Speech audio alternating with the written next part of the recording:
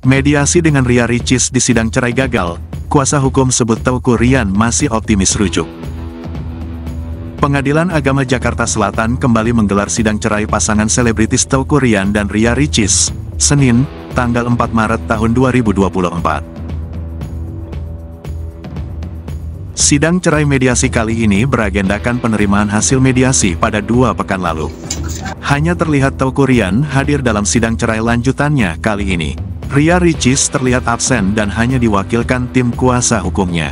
Kemudian mediasi dua pekan lalu dianggap gagal, namun hasil tersebut menurut Dedi masih bisa berubah. Sejauh ini Teuku Rian masih berupaya untuk bisa kembali bersama sang istri.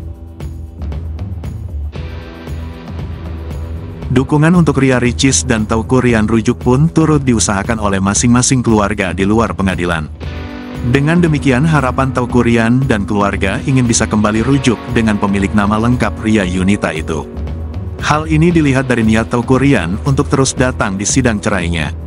Tauku Rian sendiri memilih diam seribu bahasa ditanya terkait sidang cerainya kali ini. Ia hanya meminta doa terkait hubungan rumah tangganya.